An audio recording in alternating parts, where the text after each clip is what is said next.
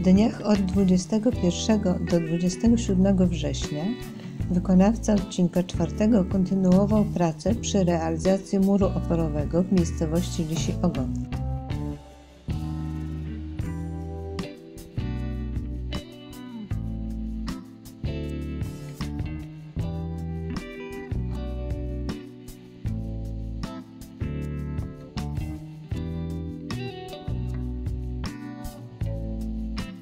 Wykonawca przystąpił również do układania kolejnych warstw nawierzchni zjazdu na miejsce obsługi podróżnych.